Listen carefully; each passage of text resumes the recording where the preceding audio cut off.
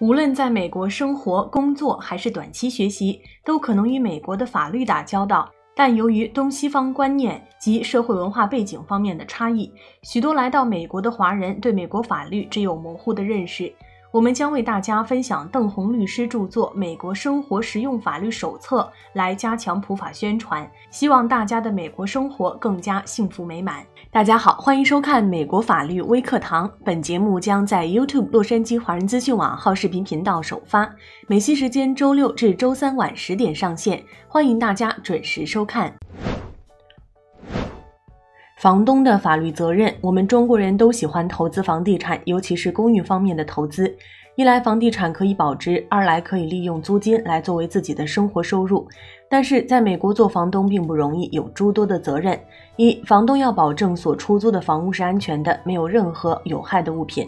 虽然法律上没有明文规定出租的住处必须可供人居住，但是所有的法院判例都要求出租的地方必须可供人生活。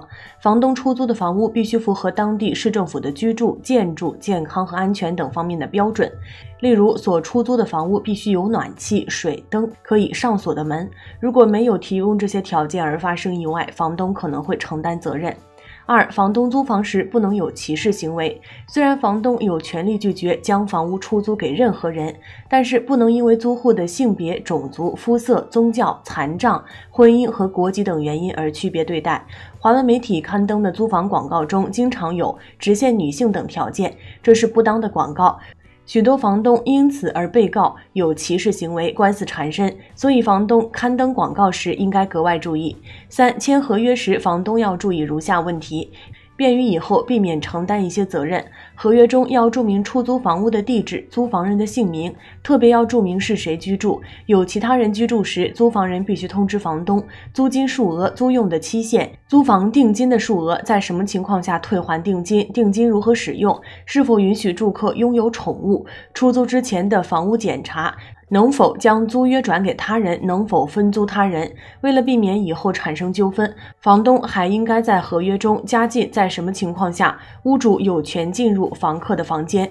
根据法律规定，只要提前二十四小时至四十八小时发出通知，房东可以进入房客的房间进行必要的维修。四、清单检查。房东为了保护自己的财产，在出租之前应该对房屋内的物品做清单检查，即所谓的 checklist，甚至可以拍照片留底。将来在房客退租时进行比照，看看是否有受损之处。如果受损，这些也可以作为证据让房客赔偿。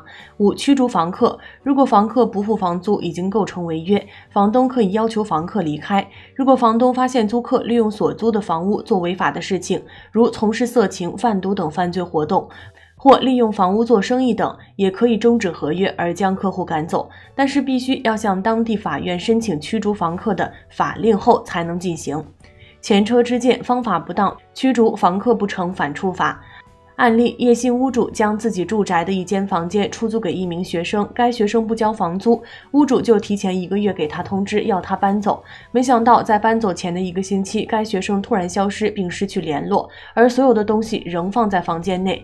一个月的期限到达时，该房客仍没有回来，屋主便将他房间的东西搬到车库。几天后，该名房客回到房间，发现他房间的东西全部被搬走，他因此报警，指控屋主无权进入他的房间，并且称他丢。失了许多贵重的财物。警察来时，叶姓屋主出示一个月前的终止合约通知，但是警察仍认为叶姓屋主无权进入房客的房间，也没有权利搬动房客的东西，因此开出刑事出庭通知单，指控他私闯民宅，要求他必须出庭解决。邓红律师的解说：近期加州失业率超过两位数字，越来越多的学生都无法找到工作，造成一连串的问题。当房客无法交付房租时，屋主有权利要求房客搬离，但是。驱逐房客必须按照合法的程序，按照加州的法律，房东必须提前给房客通知，一般是提前三十天。如果房客到期仍未搬走，房东必须给房客搬离的通知。五天后房客仍未搬走。房东可到当地的法院申请驱逐令，在法官裁定房客必须撤离后，房东可以叫房客搬走。如果房客仍坚持不搬，届时可以打电话通知警察，要求警方强制执行法官的驱逐令。中国人社区最常见的违规行为是在法官仍未签署驱逐令前，屋主已先采取驱逐行动，届时房客报警，屋主反而从有理变为无理，成为刑事案件的被告人。因而，房东在处理房客问题上应特别小心。在出租房屋或房间给他人前，应先做一些犯罪或信用调查，应向房客要求先交保证金。在房客违约时，应通过合法的方法来驱逐房客，不应擅自进入房客的房间，不应更换锁以阻止房客的进出，不应搬动房客的私人物品。房客租房注意事项。购买房屋需要一定的经济基础，因而中国新移民往往只能先租房屋。在美国做房客，一来省钱，二来省事。房客应该注意下列事情：一、房客在签约之前必须了解全部的合约内容，知道自己的权益。二、为了防止房东无理扣押定金，房客在搬进房屋之前应做仔细的检查，并做一个列表，记录哪些东西已经损坏，哪些东西没有损坏。三、如果发现房屋有需要修理的地方，房客有权向房东提出修理的要求，因为房客所付的房租中包括有权得到一个合适居住的环境。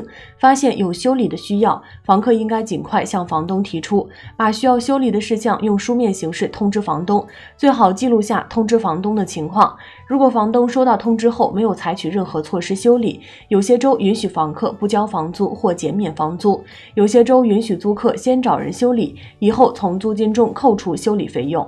四，如果房东没有在合理的时间内进行修理，房客以此为理由可以解除租房合约，当然，房客也可以将房东告到法院。五，如果房客要提前解除合约，搬到其他地方，要注意一，租房合约是否允许转让。如果允许转让，房客可以找到另外一个人，经过房东同意，这样就可以不用承担任何责任，而由新房客承担合约上的责任。二、合约中有无允许分租的条款？如果有，房客可以将房屋分租给别人，但是不利之处是，如果所分租的人不付房租，房客必须对房东承担这个责任。将来房东可以向签约的房客要钱。三、在房客真的没有办法，必须要走而违约的情况下，房东可以要求房客支付合约期限中剩下时间的租金。如合约为一年，但是房客只住了两个月而违约搬走，房东可以让房客支付其余十个月的租金。不过，法律规定，房东和房客可以共同去努力，找到另一个房客来弥补这个损失。法院还可以要求房客向房东支付在没有找到新房客之前空屋期间的租金。六、房客被驱逐前，房东一定要通知房客，在房客不采取任何措施的情况下，房东才有理由向法院申请驱逐令。房客在收到驱逐令后，可以决定搬走还是和房东打官司。如果搬走，事情到此为止；如果打官司输掉，房客不仅要支付所欠的房租，还要支付对方的律师费用，自身的信用也会受到影响。租金与保证金。美国法律没有对房屋的租金范围有明确的规定。一般而言，房屋的租金根据租房市场的情况而定，也就是所谓的随行就市。是房东和房客双方商讨而定。不过，为了保护房客的权益，加州哥伦比亚特区、新泽西州、马里兰州和纽约州中的一些城市制定出一些房屋租金限制法规，像南加州的圣塔莫尼卡、北加州的奥克兰等城市，这些地方法规会禁止房东无故驱逐房客或限制租金每年的涨幅。在购置公寓前，房东应向当地的市政府了解是否有这类法规；在租房时，房客应该去当地市政府了解是否有。这类法规，知道自己有哪些权益。除上述注意事项外，房东以及房客在租金方面还应注意如下的问题：一、租金交纳时间。大部分房东都希望房客每个月的第一天就交纳房租，但是法律上并没有强制性的规定，何时交房租是由房东和房客双方自行商定的。二、迟付租金，房客要注意，支付房租并没有像支付信用卡费用的所谓缓冲期。迟交房租是一种违约行为。如果房客迟交房租，房东可以酌情收取滞期费或终止与房客的租房合约。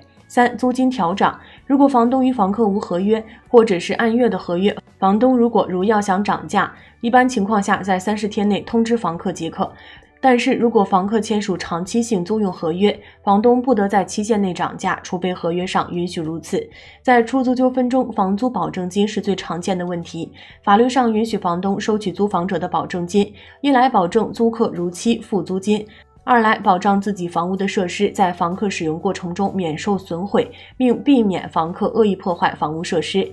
美国有一半的州对于保证金的金额有法律方面的规定，一般规定数额不得超过月租金的数额或月租金的一倍。有些州还规定房客所交的租房定金必须存放在指定的账户，也有些州要求房东向房客支付保证金的利息。因此，在租房前，房客应该了解当地政府规定以及向房东查询保证金的退还方法。在保证金退还方面，大部分的州都有法律规定，要求房东在房客搬出的十四天到。三十天之内，在扣除合理的费用后，将剩余的保证金退还给房客。房东有权从房客的保证金中扣除相关的修理费用，但是必须向房客提供维修清单及出具付款收据。房东的维修不能包括日常损耗的项目，如房客居住很长时间，地毯开始变旧，房东如要更换地毯，不应将此费用也算在原来房客的身上。租屋的维修问题，房东的英文是 landlord。不过，很多房东在维修自己出租的房屋方面表现得很吝啬，为了节省费用，对自己出租的房屋不进行必要的维修，导致房屋破烂不堪。因此，逐渐衍生出了一个新的英文单词 “shomlord”，中文可以翻译为“烂房东”或“恶劣房东”。如果所出租的房屋没有基本的生活设施，如水道水管堵塞、没有水电、没有排烟道及卫生状况极差，这样的房东就是 slumlord。如果房客的房东是 slumlord，房客可以用违反卫生标准等理由向当地的市政府投诉。市政府的卫生部门检查后会要求房东修理。如果房东不按照指示进行修理，市政府可以提出刑事起诉。不少吝啬的房东因此而坐牢。